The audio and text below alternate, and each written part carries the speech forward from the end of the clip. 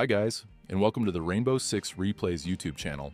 Today we want to present the video highlights of the match between Team Elevate and Team NoCap during the Asia League 2024 Stage 2. Don't forget to subscribe and put a like. Enjoy. Three bulletproof cameras, so they have no plan denial whatsoever. If Elevate walking through breach, they can stop planting, and that should be the end of it. Here comes the Candelas, here come the flashes, but the entry is somewhat slowed down by a goo mine. Oh, nice shot from Mark from close on the half wall. He's now got to worry about this player on the balcony, but it seems like Elevator slowing down, bringing out the shotgun. That's a good move, but NHiKAL living up to his reputation. Ape finds one as well, and Agiri's gone down. Oh, good flank what? watch, but DCH somehow finds his kill, and Mark has reaggressed as well to retake this half wall position. Awkward positioning now, but DCH has found one. All up to MC now. I think his position has been revealed. They know exactly where he is. They need to not overpeak him. DCH, that's dangerous! There is still Onigiri with the electricals for plant denial, or for wall denial, rather. And he does still have one. What are you doing, Uh. DCH, man? Where are your headphones? Even I could hear that. There's a player on the window repel. Potentially a C4 from below could kill him. Nicely placed, however, well dodged as well by Enhai Cal. Oh! Oh! So sharp right now. Upside down repel. Four rather is a decent look position for NoCap, and this top floor control still hasn't been taken. As I say that, Speakeasy wants to make his move on through. Onigiri's found one. He's holding on to half wall, traded back. There's still one more player in this top floor. Mr. Punch is trying his Oh best. Oh my god. He's taken one before he falls. It's up to Mark now in a one. 20 seconds left. They do have to file in through the doorways or the hatch, and it looks like they're going to double refract this position. I don't believe there is a breach on the main wall. Very late breach coming through. They should know he's on this 9 degree angle. He should win this. They try and bait out the shots with some shoulder peeks. He finds nothing! I thought he would at least find... I really respect the uh, the train of thought there from Elevate. It's so risky to drop down a hatch because like you're mid-air, you can't move and get very dicey very quickly. So doubling up fireplace might seem like a what, what kind of place that that's really risky, but no, I think it's actually the safest choice there. They just stack up and they they swung the door at the exact perfect angle. You see it right here. They're tacked up shoulder to shoulder. Flushed out of position. The Candelas come. And meanwhile, the Deimos is down below. He's likely to be spotted here, though, and I think he'll lose his fight. Ape upstairs does fall eventually. Onigiri holding onto that library stairs position before being traded back by the Ying.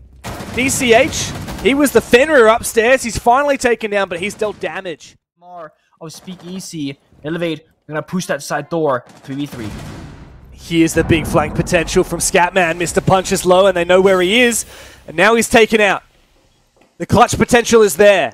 Can Scatman win it? First pick, More. second pick. It's a 1v1. He knows the diffuser's dropped. Doesn't have impacts to work with. Speakeasy walks into that tread mine. I think he's got that diffuser. He's gone back. The hatch can be opened. Speakeasy, surely he can't stick this, but Balls of Steel, he'll do it anyway. He gets off, he fakes it, walks into a goo mine. Scatman just has to hold on. There's no way this can be won by the attack. What a big 1v3 for Scatman. It's so hard to figure out, guys, what's going wrong this round because it comes down to what you're feeling when it's playing out right in front of you. Scatman right here, having the patience to say, you know what, they're probably gonna go for the smart play and go for a default plan because they don't know where I am. I'm flanking this without being detected. He's on the prowl, he's looking for it, but there Yeah, also it- the backside actually. Yeah, Scatman's actually gone all the way up top as well. There was information though, Speakeasy was watching a drone. I don't know if Scatman had activated his ability or not, but he's caught out. Meanwhile on site, it's not all sunshine and rainbows for Elevate. But they have found the advantage. They're tossing up where to play this now. There's a long angle here. This angle goes both directions. There are eight cogs on the defense. Oh. Mark with the DMR finds his. Onigiri's gone down as well. DCH in an awkward position now, low HP, and Mark here with this long angle has to make good, but he gets his head taken off. Speakeasy planting. top four, they have a flank on first four, and they say, you know what, let's just do a very simple, good old rank take. Breach open, boiler, just to the left here, breach the single wall that we just saw, right there, and just walk in and plant. It's a super simple way to lock down the clear position and blitz for that push. We're gonna go for this one. Wilkes out, lies out, Vincent. And the blitz is already made good. Taking down one. This is an explosive entry. It's worked so well. What a beautiful pocket strat here for Elevate. It's left DCH and Mark with more questions than answers. Mark finally does find one, traded back. It's all up to DCH now. I don't think they know. I don't think they expect another player to come from the same position, but Upe's got... And they've also got this little sneak up from Upe. Doesn't matter, the Dokkaebi's been nerfed. The round is deep enough. It enables NHiKAL to go in. How does he win that fight? Traded back again. Needing the kill here is Mr. Punch, and he does get it with the shotty. Not usually a shotgun you can trust, but the round has panned out pretty... Fishing, as I like to say, hoping that somebody overextends, aggresses, holds a too big of an angle. If they don't pick Oh, up the diffuser, no. well, it might not matter. Scatman finds one, it's just out to Speakeasy with a DMR in hand. That's not gonna be easy. Um, looking to a crossfire as well. Finally, he can go get the diffuser. Attackers the bomb diffuser. But I think that this is the end of the rope for Speakeasy. Three players to find. Yamar's not terrible. Oh, there's info on him. Yeah, good luck with that one. He's teased a little bit by Scatman. He can't take the bloody camera out, and he gets swung oh. by Onigiri. There's redundancy here. One of these players loses a fight. And you've got another one to back it on up. But here comes the hard breach as well. This push is going to come through quickly, and NHiKAL wins his fight, though. They can clear out that shield and just go for a plant, but a bit of an unnecessary aggression there for Nikiri perhaps. No follow-up. Fenrir Mine was there as well. That net is closing for Elevate. They're saying, you know what? We got the side block. We can go for a flank if you want to, applying pressure everywhere on towards NoCap. This looks so good for Elevate. You've got the player behind the shield being the Warden, and he's found a pick. Smoke doesn't matter. The Vulcan canisters detonate. Scatman's finally found a pick on the flanker, but it's way too late. And now he's got four more to find. That's going to be the end of the round, surely. A consolation frag or two, perhaps? Doesn't matter. Just hold on to their positions. You have one plan left if you're NoCap.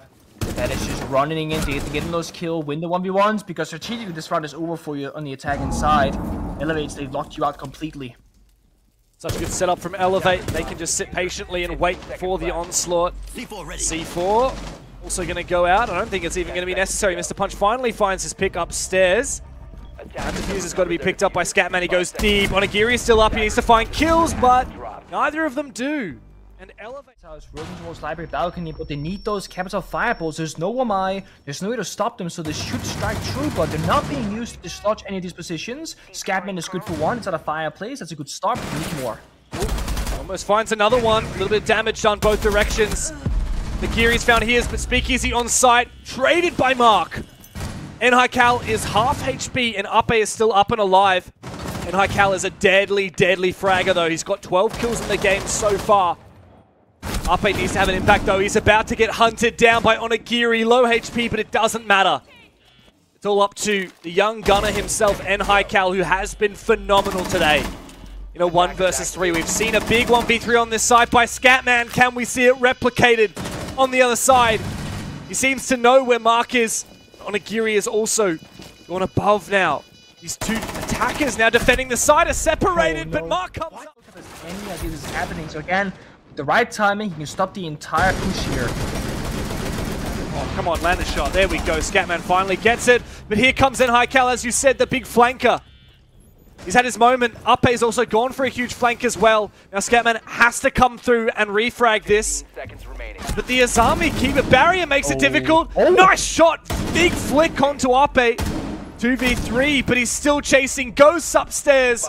Meanwhile, Onigiri is floundering on site. There is nothing to be done for NoCap. The round is over. The game may be dead in the water. Elevate have themselves match point. Either strategically, on their operators, or of course on their map control.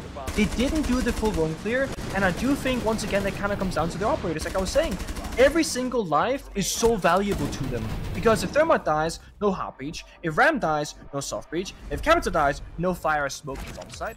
No, you gotta get in there. Yeah, Stop valuing your life so much, boys. You gotta get in. I thought Onigiri was going to jump in, but he's still too scared to do so. Attackers dropped the And now look at this aggression from Speakeasy. He does get shut Good. down by Mr. Punch, but meanwhile, Mark's gone down and Shed has come back for the trade. in Ways about it, unless you're there's Goyo fire or smoke or a small being tossed out, for example. But again, they're locked out. Look at this No! collapse. What? NHiKAL is so What? good. He's good for no. He's gonna shut them down immediately on the entry. They completely forgot about the library stairs. They never cleared it, and NHiKAL's been there the whole round. Unaddressed. NoCap now being punished. Bit of a shot there from Scatman. Almost takes Cal down. 1v4 for the game. With his trusty DMR, he walks into a three-way crossfire and survives. Look at Elevate. They are so patient.